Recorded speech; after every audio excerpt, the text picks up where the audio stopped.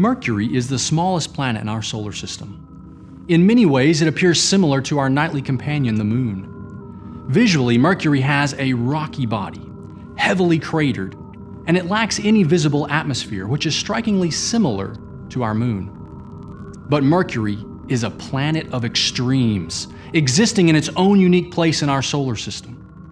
Being the innermost planet in the solar system, Mercury orbits at an average distance of 37 million miles from the Sun. At this distance, Mercury has the largest orbital speed of any planet, racing around the Sun at an average speed of over 105,000 miles per hour.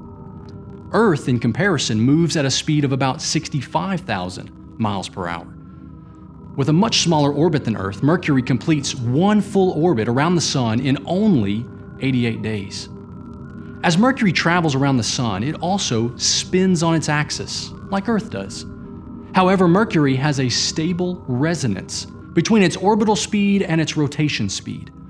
This spin orbit resonance means that Mercury's orbit and rotation have a fixed relationship, resulting in Mercury spinning on its axis three times for every two trips around the Sun. This interesting scenario means that although Mercury completes one spin rotation on its axis in 59 days, it actually takes 176 days to complete one solar cycle from sunrise to the next sunrise. This results in one solar day on Mercury actually lasting two Mercury years. While this extreme situation of days being longer than years is fine for the barren world of Mercury, it would be completely disastrous for life on Earth. Now, another extreme consequence of being so close to the Sun is that Mercury receives about seven times the intensity of sunlight and solar radiation than Earth does at our distance.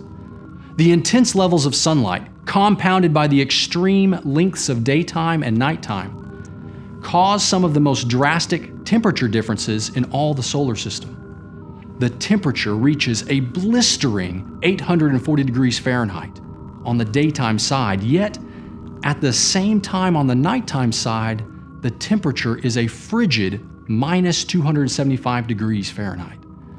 Along with the intensity of sunlight, Mercury's proximity to the Sun also means that it is bathed in the intense radiation and high energy particles that are streaming out from the Sun in the solar wind. Without the protection of a thick ozone layer or ionosphere, and having only an extremely weak magnetic field, Mercury is assaulted with levels of radiation that would eradicate any life.